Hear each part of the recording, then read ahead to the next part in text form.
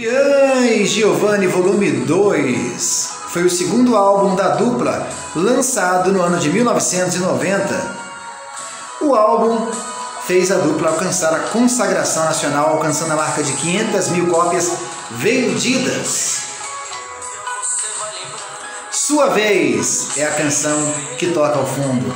Um dos grandes destaques do disco é a música Nem Dormindo, Consigo Te Esquecer. Composição de César Augusto, que ganhou vários troféus e dominou as rádios naquela época, fazendo a dupla receber vários convites e participar de programas de rádio, televisão, todo tipo de imprensa da época que ocorria.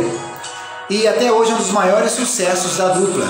Nesse mesmo disco também se destacou a canção Sua Vez, essa que toca ao fundo, Caçador de Corações e a clássica Roupa Lua de Ludmel, com 12 faixas sobre o arranjo e regência do maestro Pinóquio, gravado nos estúdios Gravodisc em São Paulo.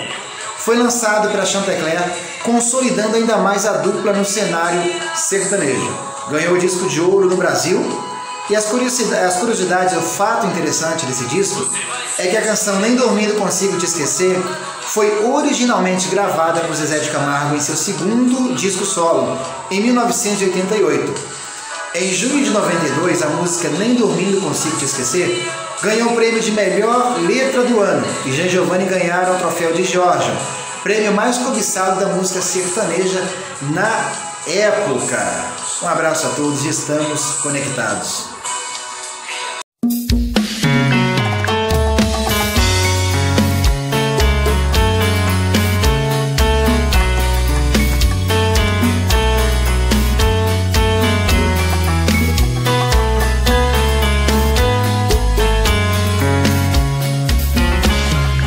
Já falei pra você